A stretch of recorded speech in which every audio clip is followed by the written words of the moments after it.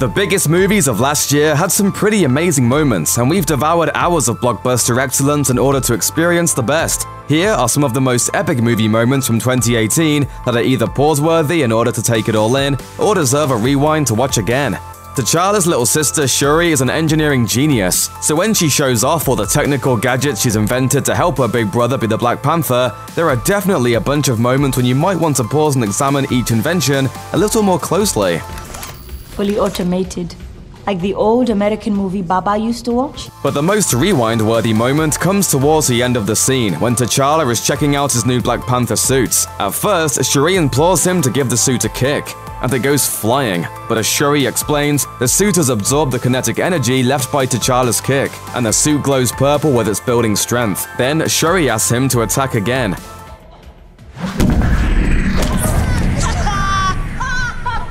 Delete that footage. Shuri and the audience erupt in laughter at the sight of the Great Black Panther leveled by a suit on a mannequin. It's a moment that's definitely worth a rewatch. Watching Avengers Infinity War, it's hard to say if anyone really believed that Thanos was going to succeed in his plot to wipe out half the population of the universe. But then he got all six Infinity Stones into that gauntlet, and, well, everyone knows what happened next. After the snap, the dusting begins. First to go is Bucky, followed by Black Panther, Groot, Scarlet Witch, and Falcon. Out in space, Mantis, Drax, Star-Lord, and Doctor Strange dissolve into space dust. But the most crushing dusting has got to be that of Spider-Man, whose pleading with Tony Stark is absolutely tragic. I don't want to go. I don't want to go. Sir, please. Please, I don't want to go. I don't want to go. How many people paused on Parker's heartbreaking final moments? We can only guess. Hopefully, we'll find out soon enough if our favorite Avengers are saved when Avengers Endgame hits theaters. There are a few pretty awesome pause-worthy moments in Jurassic World Fallen Kingdom, 2018 sequel to 2015's follow-up to the original Jurassic Park franchise. This new movie introduced another scary dinosaur hybrid, the Indoraptor, which when it's finally revealed, deserves a good pause just so we can get a good look at it.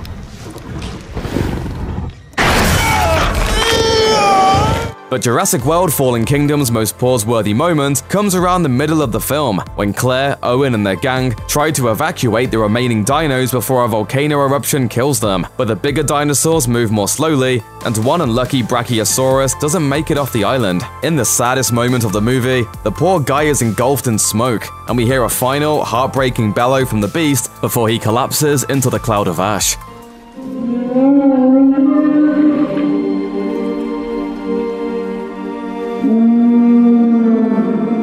It deserves a pause just so we can get in a moment of mourning before moving on to more action. For technically being part of the X-Men franchise, there are surprisingly few X-Men characters in the first Deadpool movie, a fact which Deadpool isn't shy about pointing out. It's a big house. It's funny that I only ever see two of you. It's almost like the studio couldn't afford another X-Men. But Deadpool 2 takes it a bit further and adds a fun cameo. When Colossus brings a severely injured Wade back to the X-Mansion, Wade remarks again at the lack of X-Men characters willing to make an appearance in his knockoff X-Men movie, which is exactly when they appear. Okay, they can't just dust off one of the famous X-Men. How about that Potts with the giant pigeon wings? What do those do anyway, huh? Carry him three feet off the ground to snatch up the nearest muffin crumb? The fun gag is worth a pause just so we can check out who's in the room. Xavier, Beast, Quicksilver, Cyclops, Storm, and Nightcrawler. The latest installment in the Mission Impossible franchise features some of the most intense action sequences in movie history. The biggest and most talked about has got to be the Halo jump star Tom Cruise takes from a plane flying 25,000 feet in the air. The detail behind what it took to capture the jump on film are absolutely insane. Cruise is the first actor to perform such a stunt, which is saying a lot about his willingness to capture authenticity. He and the crew took over 100 jumps to get the scene just right, while every other jump required at least 20 minutes of oxygen prep. And since the shot used in the movie happens at sunset, they only had one chance per day to actually shoot the scene. It's pause-worthy just because of how stunning the whole thing is, and because once you watch it, you simply have to know how it was done. Like the first movie, Marvel's Ant-Man and the Wasp is filled with light-hearted and hilarious moments that counter the more dire and serious aspects of the Marvel Universe. When Luis gets captured by Sonny Birch, he's given a truth serum and forced to divulge all he knows about Scott Lang. But this is Luis, Scott's blunt yet hilarious best friend. So when he's given a truth serum, you can bet he's going to tell you everything. Luis's story goes all the way back to when he and Scott met in person, complete with an enormous curly wig. Then through his relationships with Hope. And then Scotty's like, you know what, girl, my heart is all broken, and I'll probably never find love again, but damn if I want to kiss you. The whole scene is definitely the funniest sequence in the film, one that you'll probably want to rewatch. Throughout the Star Wars prequel Solo, A Star Wars Story, Emilia Clarke's Qi'ra and Paul Bettany's Dryden Voss make references to a higher criminal organization known as Crimson Dawn. During the climax of the film, Qi'ra slays Dryden and abandons the love of her life, Han Solo. It's at that point that she pledges allegiance to Crimson Dawn via hologram, and a familiar face pops up in the holographic communication device, Darth Maul. It was a moment that left audience members collectively gasping, but also asking, how? Casual Star Wars movie viewers will recall that Darth Maul met his end at the hands of Obi-Wan Kenobi during The Phantom Menace, but fans of the animated series Clone Wars and Rebels know that Maul survived his fall and became a crime boss who runs the organization known as the Shadow Collective, which in turn runs Crimson Dawn. Meanwhile, Solo takes place a couple of decades after The Phantom Menace. Maul's reveal is definitely a plausible moment, if only for fans to try and figure out if they're really seeing who they think they're seeing, and work out the timeline of how the former Sith Lord turned crime boss ended up there. Tom Hardy's Venom was one of the weirdest movie experiences of last year, and very much one of the most bizarre Marvel-inspired movies that has ever existed. Fans can't seem to decide if it was amazing or awful, intentionally campy or just bad all around. But it does feature one of the most talked about moments of the cinematic year, the Eddie Brock and Venom makeout session. Ah. Mm. Mm. Mm. Was it really between Eddie and Venom? Was it between Eddie and his ex-girlfriend Anne? All we know is when Venom is inhabiting Anne's body, Venom leans in for a deep and intense full-tongue kiss. Considering that Venom is in charge whenever it's inhabiting someone, it certainly seems like it was Venom who made the call to go in deep. Pucker up.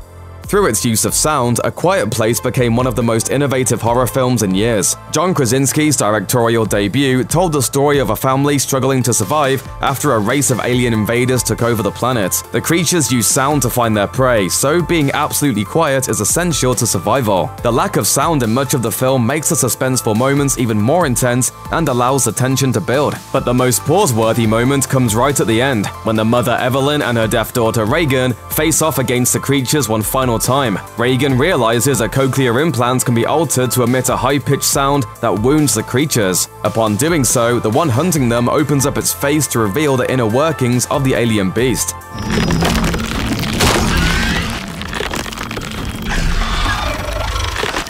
Until that point, the creatures had stayed mostly in the shadows, but this close look provides the best detail of the entire movie. It's a shot you definitely want to pause just to get a good look, before Evelyn blows its head off. If you love Queen, then you probably loved Bohemian Rhapsody. Any of the musical moments in this film are rewind-worthy, particularly the recording session of Bohemian Rhapsody itself. But the most epic scene in the entire movie is definitely the closing sequence, which revolves around the band's decision to perform at Live Aid, a giant charity concert that took place simultaneously in London and Philadelphia in 1985. The movie pretty much recreates Queen's entire performance, and Rami Malek has said he considers the concert the most important scene in the film, telling Cinema Blend, It is a culmination of what the trials and tribulations were that got them there in the first place, and they still have something monumental to overcome. So I think if you look at this film, a lot of it is about overcoming adversity and challenging every aspect of yourself and your friends. The 2018 Halloween is technically a direct sequel to the 1978 original, even though there have been six other movies between them. This retconning of the series brings back Jamie Lee Curtis as Laurie Strode, and adds a daughter named Karen and a granddaughter named Allison. The story follows the return of Michael Myers as he escapes from a prison transport and heads out on a killing spree on the hunt for Laurie. Jamie Lee Curtis plays Laurie, now in her 60s, with a world weariness and severe PTSD, and she certainly has some moments of badassery in the movie. But the moment many fans talked about most has more to do with the usually sweet Judy Greer. Though Laurie's daughter was taken from her at an early age, Karen comes through for her in a clutch moment. I'm sorry, I can't do it! Gotcha. The level of ridiculousness in The Meg reaches pretty epic proportions, but despite being pretty goofy, the movie is still a whole lot of fun. Jason Statham stars as a guy trying to capture and kill a really big shark, a megalodon to be precise, and that's about the entire premise. But what it lacks in story, it makes up for by just going all the way. The most epic scene in the entire movie comes about midway through, when the gang of shark hunters has captured the Meg and strung the prehistoric creature up on their boat, or at least they think they've captured the Meg. Oh, yeah! Jellyfish! Ah!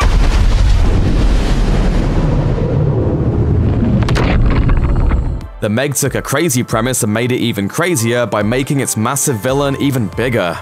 There's nothing more exciting than a good movie gunfight, but the one-sided showdown from Hold the Dark isn't your typical Hollywood shootout. This incredibly tense scene finds a group of ill-equipped cops facing a very angry man with a very big machine gun. His name is Cheeon, and when the police roll into his icy little village looking to arrest him and his friend for murder, he opens up his second-story window and unleashes hell with an M60. The entire scene is nothing but ice, blood, adrenaline, and fear. Bodies drop left and right, and the soundtrack is filled with screaming men as Cheeon shoots them over and over again. It's like watching a clip from Saving Private Ryan, and by the time the police put Cheeon down, we need to hit the pause button so we can slow down our heart rate and try to get our breath back.